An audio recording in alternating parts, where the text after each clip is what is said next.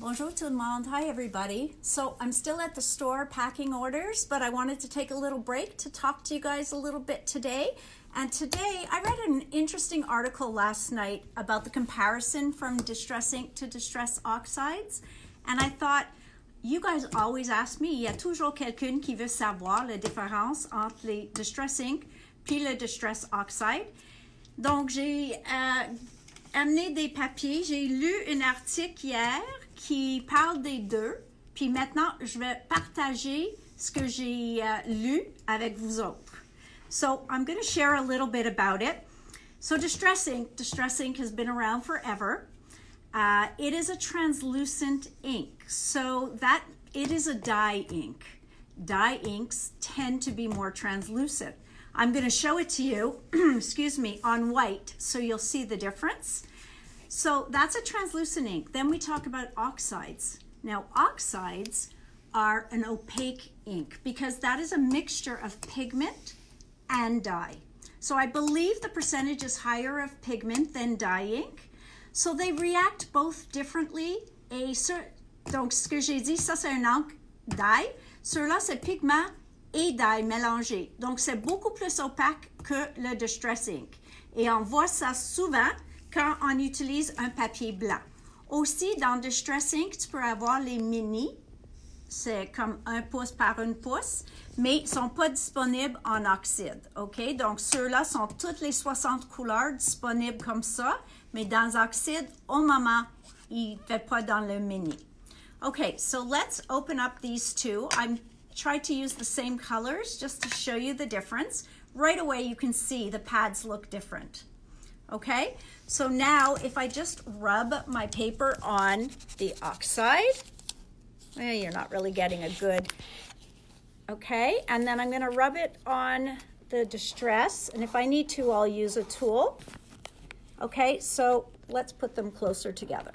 So this is my oxide.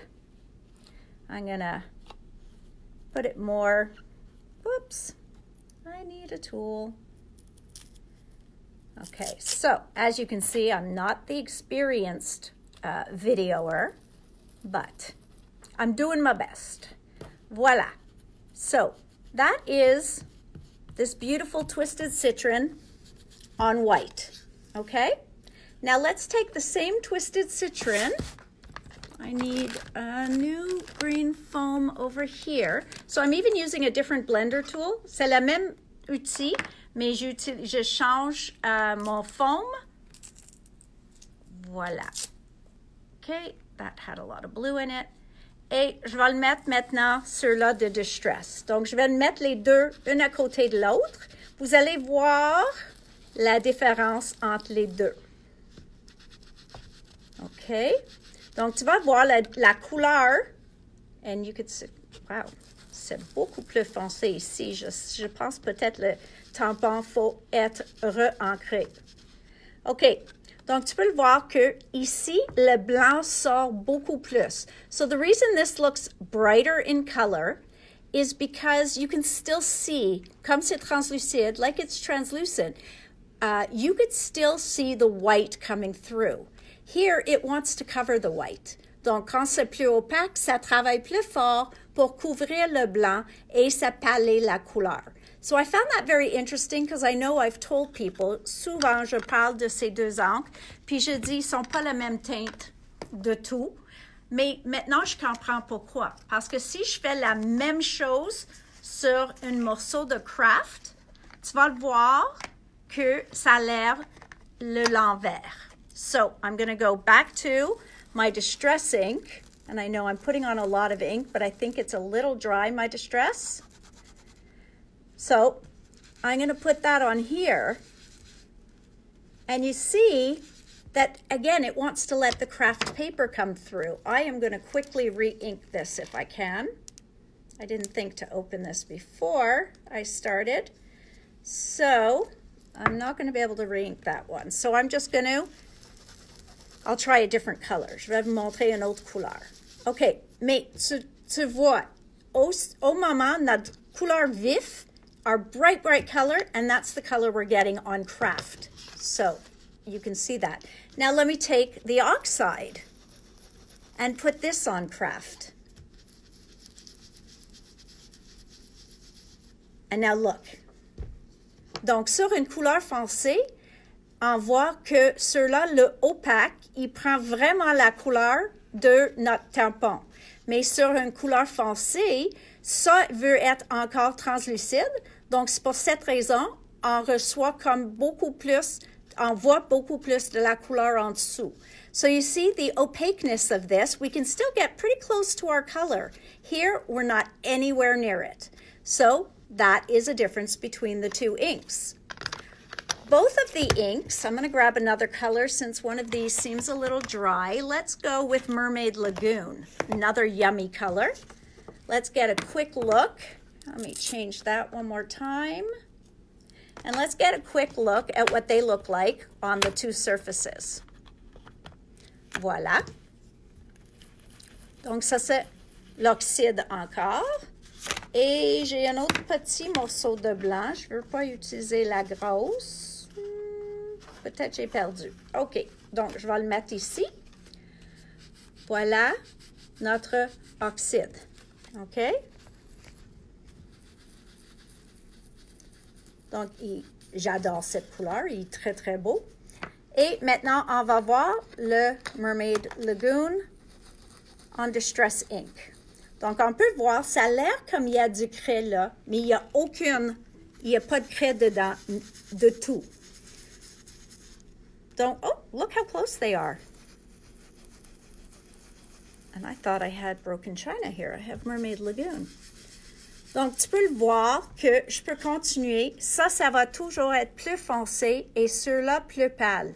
Puis on va voir, les deux sont réactifs à l'eau. So both of them are water reactive. But the difference is when we put water on here, and I didn't think to bring a paper towel, so a white might work, but I think it's going to change the effect. Sorry, guys. And then I'm going to go and I'm going to go here. And you can see the way it moves. Voilà, ça veut enlever l'encre, ça fait comme un wicking. Puis tu vois que ça it starts to kind of scare away the ink is a good way to put it. So you can see that that is working to remove the color. Look at it here. Ça fait vraiment un look plus oxydé. Donc, plus ensemble, si je mets une autre couleur à côté. Donc, tu peux le voir vraiment, ça marche, ça réacte différent quand on met de l'eau. Donc, ceux-là, tu vois, on commence à perdre la couleur, ça veut bouger la couleur, et cela, c'est comme donne un mélange. So I hope you're understanding that. The distress ink, the translucent, is kind of sitting there and the water just wants to take the color away. It gives nice droplets, so often we go, if I had a paper towel, and look, I can take the whole color away. But on the oxide, it seems to just want to blend it more and pale it. So what is in here, the, the pigment in there is reacting very different than this one. And since our blues look very similar on here, let's see what they look like when we put them on craft. Okay? À cause qu'ils sont similaires là-bas, on va le voir à quoi ça a l'air quand on met sur le papier craft. OK? Donc, c'est même pas la même couleur. OK? Ça a l'air beaucoup plus vert, complètement différent. Puis si on va prendre notre oxyde, tu vas le voir comme la couleur est beaucoup plus beau sur les couleurs foncées. Donc ça, c'est vraiment vintage, un look vraiment de Tim et je l'aime beaucoup, mais quand on voit l'oxyde à côté, tu vas voir la différence entre les deux. Donc, tu peux le voir. Complètement différent, complètement différent. Puis on va faire notre test. We're going to do our test again with the water on the craft paper, keeping in mind this isn't a watercolor paper. Ça, c'est pas un papier à aquarelle, mais tous les papiers de mixed media puis tout ça, il peut tenir un montant de d'eau. So it can hold a little bit of water, but really to do the best, you want to put it on watercolor paper. So can you see right away? So you see that? Look what happens when I put it on there. Do you see anything fun happening here? Non. Ceux-là, il va juste enlever la couleur. Puis, where did I just put my wipe? I'm totally losing it. Mm-hmm. There we go. So you see here, ça joue, ça danse, ça fait toutes sortes de choses. On veut l'apporter au restaurant, puis, you know, wine and dine them. But this one here, it's just taking the, it's just taking the color off. Here it's blending. And if I try to blend these two colors, look how nice that is. I'm gonna dry that so you can see the real difference. I'm sorry, you're gonna hear the heat tool. Hang on one second. But just so you can see, just pour voir la différence.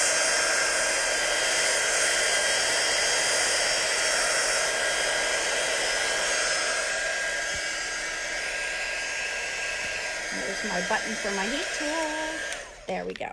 So you can see right away when I'm drying it, you see the modeling you're getting here, and here it's taking it away. Donc, ça, c'est vraiment la différence entre les deux quand on utilise de l'eau. Mais on veut toujours utiliser un peu d'eau parce que, regarde, ça a l'air comme la craie, mais il n'y a aucune, aucune craie dedans. C'est juste le mélange de pigments avec translucide, la, avec dye, puis ils ont fait comme une chimie. Le chimie ça.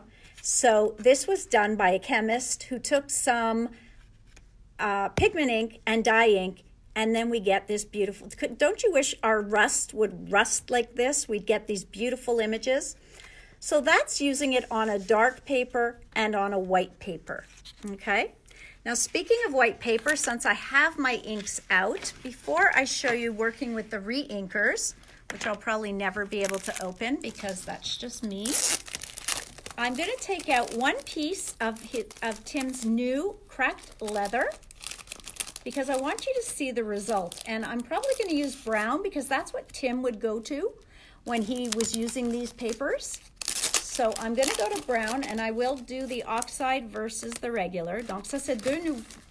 Euh, le bois est pas nouveau de Tim, mais le crack, le cuir craquelé est nouveau. Donc on va voir avec les outils. J'en ai une pour le brun, probablement quelque part. Non, donc je vais le prendre de nouveau pour le moment. Voilà. Prendre un nouveau pour mon brun. Et je vais faire laquelle en premier. Donc, j'ai besoin de foam. Is there a brown one in here? Okay, I can use that. OK, donc, je vais commencer avec le Vintage Photo Distress Ink. OK? Puis, je vais vous montrer à quoi ça a l'air ici. Et tu vas le voir aussi que à cause de la formulation, because of the formulation of the oxiding, it blends a little smoother. You have more chance for getting good results and not ending up with strong lines because it's easier to go back over it. C'est plus facile de retourner sur uh, ton morceau et de faire blender où on a les couleurs plus foncées. Parce que normalement, ce que moi je fais, je prends mon encre, je commence ici et je continue. Et comme ça, j'ai toujours un côté plus fort, puis là, il est plus dilué. So usually I'll start off of the mat and then come on. And the more you're doing that, the stronger your edge gets color-wise. And then it gets lighter inside. But you see, when I want to go back and blend out certain harsh spots, it's a little bit more difficult. So let's try the same color. So this is the wood grain. Look how pretty that is. Beautiful. Ça, c'est la même couleur Vintage Photo, mais en oxyde. Et probablement sur quelque chose de bois, je ne sais pas encore, mais probablement, and again, I didn't do what I said. So you see I have marks. On va voir si je peux les blender plus facilement que les autres. OK, on va voir. Mais garde même ici, tu peux voir la différence de couleur. Donc, si on veut un bois plus doux, c'est ceux-là. Si on veut plus fort, il là. Donc, quelqu'un appelle tout de suite parce qu'ils ont besoin de ce papier et je peux même pas répondre. So, whoever's calling, I'm going to have to call you back because I am showing off this beautiful paper. OK. Donc, on a les deux. Puis, j'ai pas bien blanc, euh, faire mon blending. Mais comme j'ai dit, je peux toujours retourner puis le faire plus beau. Mais je veux l'ajouter un peu d'eau pour voir. OK? So again, I'm just going to put a little bit more of the darkness on here parce que j'ai fait plus foncé sur le oxyde. Puis on va voir la différence entre les deux. OK? Donc je laisse le ligne au, au milieu, puis on va voir qu'est-ce qui arrive. Donc ça et ça. So what do we see happening? C'est plus difficile avec brun de le voir, mais encore, on va voir plus d'oxydation. Là, ça a l'air que l'eau, il, dort là. So it looks like it's just kind of sleeping there and it's waiting for somebody to come and clean it up so that it'll do its effect. You see, it's beautiful. Oublie pas, c'est vraiment beau. C'est vraiment un look spécial aussi. Mais, des fois, on veut plus que ça blende et ça vous donne un look ça a l'air pas que je viens juste de faire mettre mon encre. Voilà. So that's what oxidizing really does. So you see, it just spreads out. C'est pas la même chose comme les gouttes ici. It just spreads out. And I love the grain of this paper. J'espère que vous pouvez voir comme le papier est fait comme le bois. So now, what color should I use when we're going on to the cracked leather? Because leather could be really in any color. So let's go funky. On va faire quelque chose différent. On va faire, oh non, on a fait le Twisted Citron. Wilted Violet. Voilà, Wilted Violet. La gagnante. OK. Whoops, je viens de déchirer mon, mon pad. Wilted Violet. OK. Je vais faire l'oxyde, puis on voit maintenant the cracked leather cardstock. And you see, I never even listened to my own tutorials to start off the page. Mais garde la couleur. Donc, c'est beau, mais tu peux le voir que c'est plus doux que si j'utilise l'original. Donc, je vais le faire ça, puis probablement mettre un peu de bleu avec pour voir le blending des deux couleurs. Donc, je vais faire ça. Et maintenant, je vais faire dans le ordinaire. Et encore, tu peux le voir comme, ça a l'air comme un peu du cuir. So that's his new paper, and of course it's thick. C'est assez épais que ça peut tenir de l'eau aussi. Okay? So, now I'm going on to the regular wilted violet. So this color is wilted violet, but you're going to see how different that color is. Look at that. Donc ça, c'est probablement la vraie couleur de l'encre parce que il est fort. Il est, probablement c'est ça que Tim a voulu faire quand il a sorti ça en premier. OK? Puis j'essaie de faire deux points, un contre l'autre, pour que je peux mettre le bleu aussi. OK? Donc, tu le vois les deux. Ça, c'est Distress Ink. Et ceux-là, c'est le oxyde. Maintenant, je vais retourner à mon Mermaid Lagoon. Probablement, j'en ai assez sur mon tampon, mais je vais l'ajouter. C'est bien ceux-là pour le bleu? Oui, OK. Je vais l'ajouter un peu ici de mon bleu. Puis, mon outil avec le bleu ici, j'ai perdu. Et oui, je n'ai pas faire une beau blending parce que je veux pas que vous soyez pris à me regarder pour toute la soirée. Donc, je vais faire juste un mini blending pour le voir. Qu'est-ce qu'il fait? OK? Donc, voilà mon oxyde en bleu, mon bleu de distress. Là, cette couleur-là, il est proche.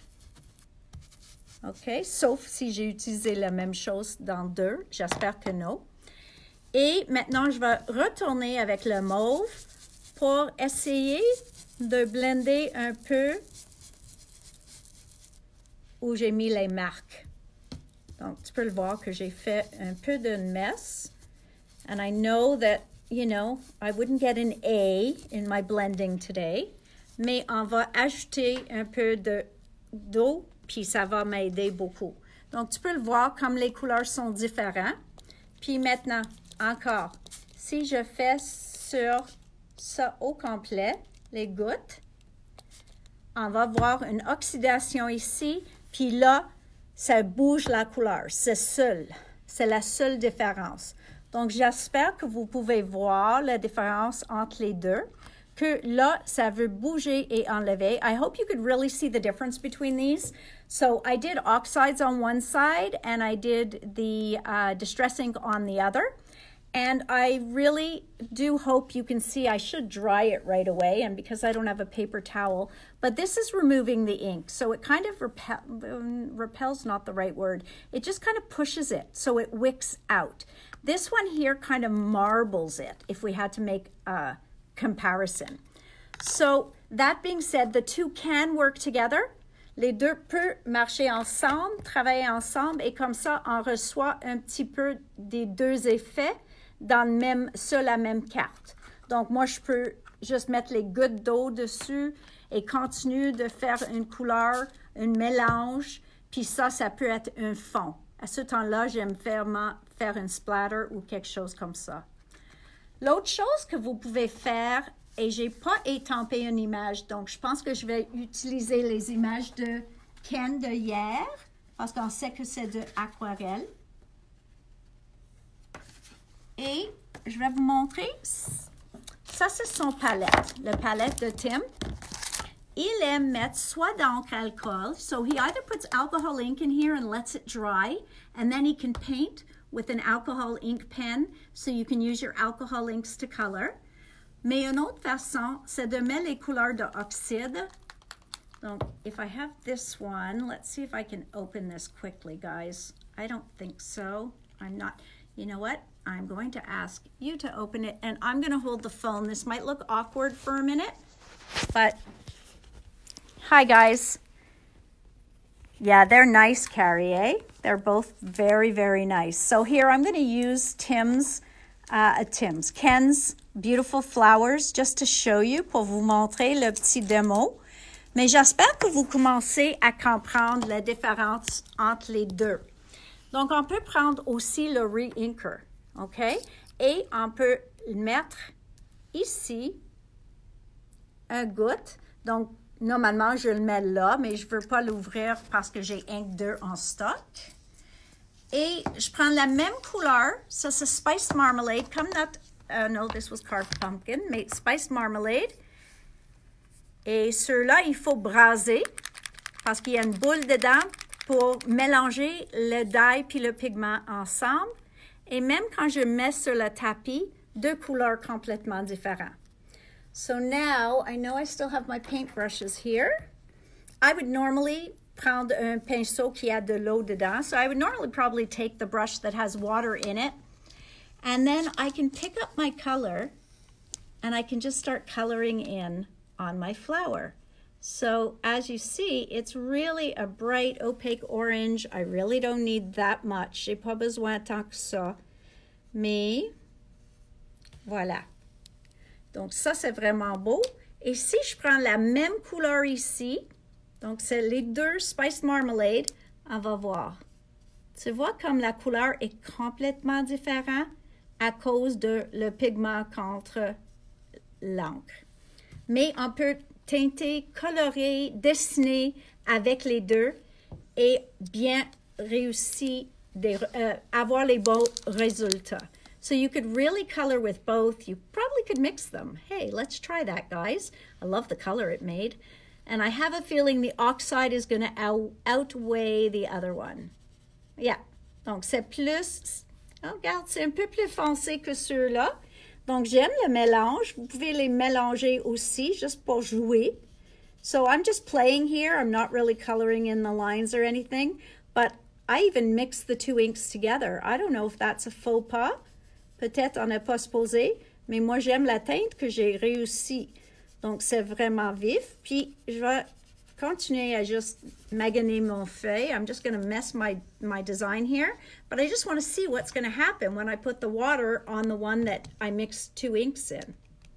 So look, it looks like it's It's really trying to do both.